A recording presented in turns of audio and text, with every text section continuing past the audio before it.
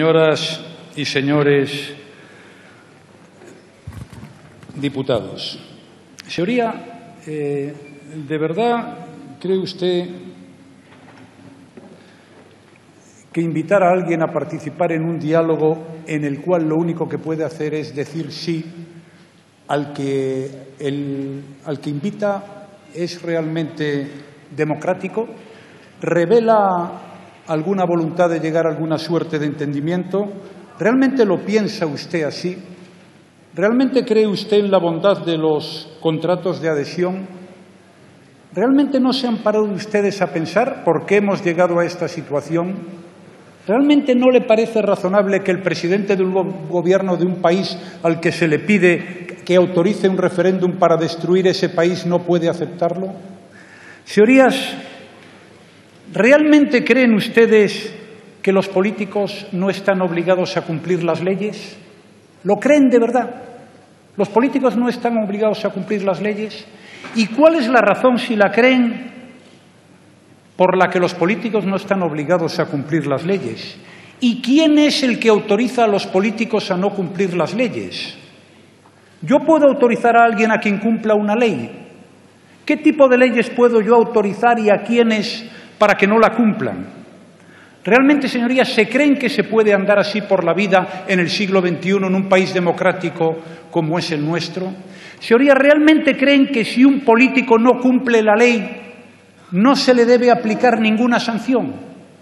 ¿Es el político la única persona a la que si incumple la ley no se le puede aplicar una sanción?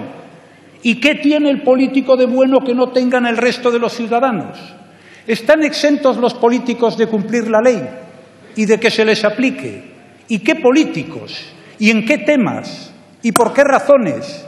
Oiga, ¿se cree que esta forma de actuar es acorde con el Estado de Derecho y con lo que es propio de una democracia y de un sistema de libertades como es el que tenemos? Eso es el Sein, no sé si lo he pronunciado bien, señor Tardá, ¿eso es el Sein o eso es la Rausa? ¿Dónde se han colocado ustedes? ¿Alguna vez se lo han planteado? ¿De vez en cuando hacen examen de conciencia o no lo hacen? Yo sí lo hago. Y siempre procuro pensar en qué me he equivocado. Y a veces logro averiguarlo y en otras no, peor para mí. Pero ¿realmente creen que se puede, en un sistema democrático como el nuestro, tener unos comportamientos como los que estamos viendo y como lo hemos vivido en los últimos tiempos?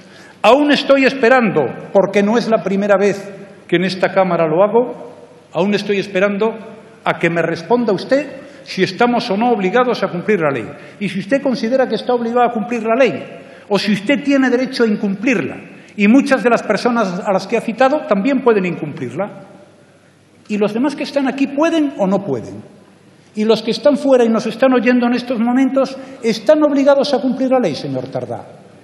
¿Con qué argumento podemos convencerlos si sostenemos las tesis que ha defendido usted aquí esta mañana?